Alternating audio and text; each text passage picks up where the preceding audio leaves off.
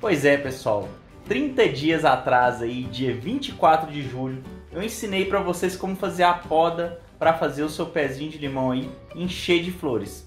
Hoje, dia 24 de agosto, eu venho aqui trazer para você o procedimento que você tem que fazer depois que ele começar a florescer.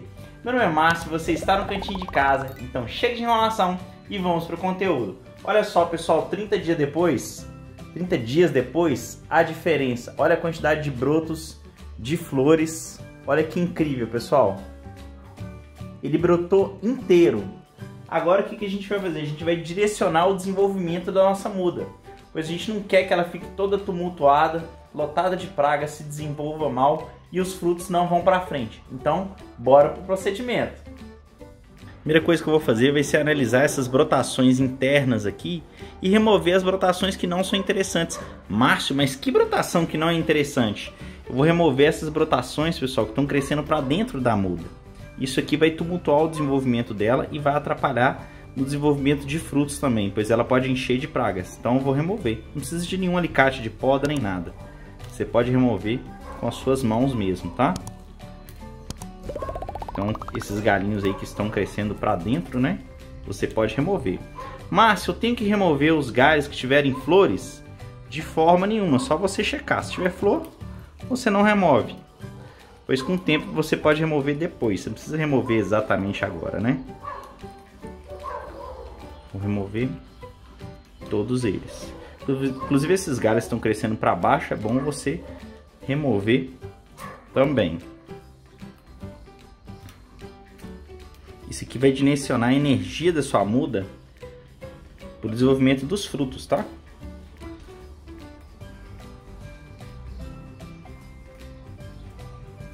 Beleza? Tá crescendo para dentro também.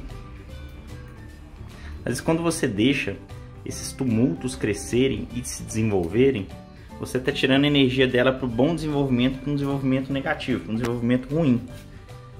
Aqui ó, não tem flores. Posso retirar também. Como são galhos que não são lenhosos ainda, é muito fácil de você retirar, tá? Não precisa ficar com medo não. Esse cara aqui está crescendo para dentro, tá vendo? Vou remover ele também. Esse aqui também está crescendo para dentro. Esse pequenininho também está. Inclusive eu vou deixar na descrição do vídeo aqui, o primeiro comentário, para você depois conferir o vídeo da poda, ok? Então aqui eu também já posso retirar.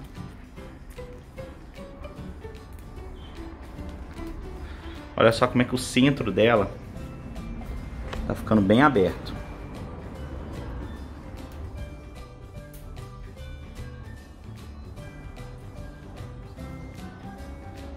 Beleza? Esse aqui vai brigar, né? A lateral eu posso retirar também.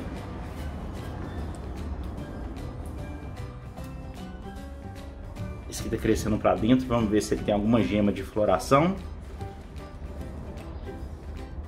Não tem nada, tá vendo? Então posso retirar também. Esse aqui, ó, era bom retirar, mas como ele está florescendo, eu vou retirar esse aqui logo abaixo, ok? Beleza? Esse aqui na lateral tá crescendo para baixo, vou retirar. Esse aqui também tá crescendo para baixo.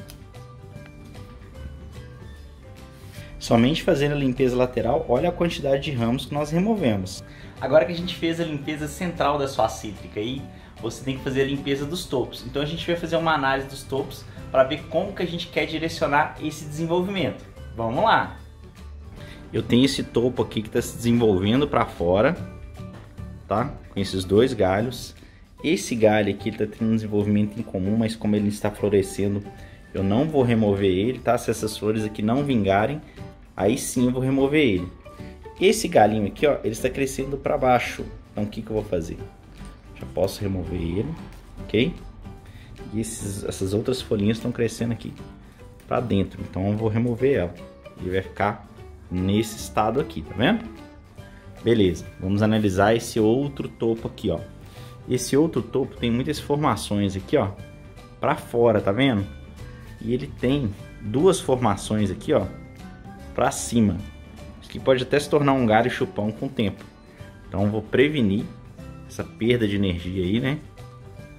Para retirar esse galinho aqui. Aqui, como tá muito tumultuado, o que eu vou fazer? Eu vou retirar esse outro galinho aqui, que vai fazer sombreamento no futuro, para esse topo aqui, e vou deixar ele assim. Assim tá beleza, assim tá ok, tá vendo? Essas três ramificações estão crescendo para fora. Aqui, ó, outro exemplo interessante para a gente poder observar. Aqui eu tenho esse galho aqui que está crescendo para fora, ok? Esse aqui ele vai fazer sombreamento nesses galhos aqui externos, então eu vou remover ele de vez aqui, ok? Esse galinho aqui, ó, ele até tá crescendo meio para dentro, meio para fora. No caso você poderia remover ou poderia deixar, mas nesse caso aqui eu vou remover ele, ok? Beleza. Vamos agora analisar aqui. Esse topo aqui está com flores. Essa terminação aqui. Essa terminação aqui ó, não está com flores, mas está crescendo aqui para baixo. Crescendo para cá também. Então eu posso deixar ela. Essa folhinha aqui eu tô achando que ela não está muito saudável, então vou remover ela. Tá vendo? Essa folha aqui pode estar, ter sido atacada aí por ácaros, né? Então já vou limpar ela de uma vez aqui. Aqui no centro eu tenho umas flores e eu tenho esse galinho que está crescendo aqui que vai fazer sombra. Então já vou remover ele. Ok? Aqui ó, eu tô com esse galinho aqui também que vai fazer sombra no futuro. Então também vou remover ele. Nesse outro topo aqui, vamos lá, eu tenho esse galinho aqui que está com flores. Esse galho aqui está crescendo totalmente vertical, olha só para vocês verem. Que é um galho chupão assim com certeza. Então já vou remover ele.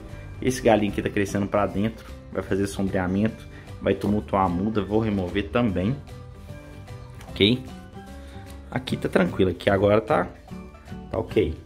Então aqui, ó, esse outro topo aqui, esse galinho aqui, eu acho que ele vai dar flor daqui a um tempinho. Tá até um pouquinho vertical, mas... É, mas ele tá bem vertical aqui, então vou... Não, não vou remover ele, porque ele tá crescendo para fora, eu posso depois cortar ele aqui para ele crescer um galho para fora. Então não vou remover ele. Esse galinho aqui pequenininho aqui eu vou remover ele, que ele tá crescendo para dentro, tá vendo? Esse galho aqui era para me remover, mas só que como ele tá com flor, eu não vou remover. Vou remover esse outro galinho pequenininho aqui que tá crescendo na lateral aqui, ó. OK? Este topo aqui não precisa mexer nesse momento, nem esse topo aqui também não. Como vocês puderam ver, o procedimento é muito simples, qualquer um consegue fazer, você não precisa de ferramenta nenhuma para fazer isso. Dessa forma, você está direcionando o desenvolvimento saudável da sua muda, em que ela vai crescer muito mais, os frutos vão se desenvolver melhor e ela pode ter uma saúde muito maior para produzir para você frutos com uma frequência bem maior também. Espero que você tenha gostado. Meu nome é Márcio. Sempre aqui no canal do Cantinho de Casa tem vídeo novo para te ajudar a deixar suas plantas cada vez mais saudáveis, lindas e maravilhosas. Aqui no canal do Cantinho de Casa tem vídeo novo toda quarta e todo sábado a partir das 10 horas da manhã. Então aquele abração aí para vocês, pessoal. Fiquem com Deus e até o próximo vídeo. Tchau, tchau!